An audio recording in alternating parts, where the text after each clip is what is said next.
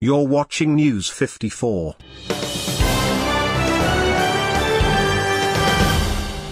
National Police Service has broken the silence after the tear gas drama that happened in Gusii Stadium in Kisii County.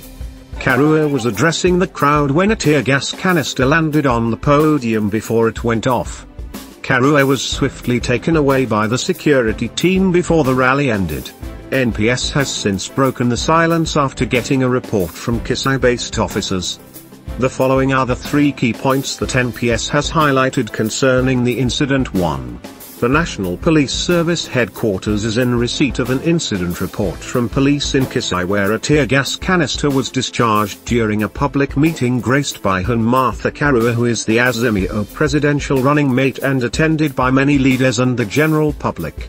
2. The circumstances surrounding the incident are a matter currently under investigation. 3.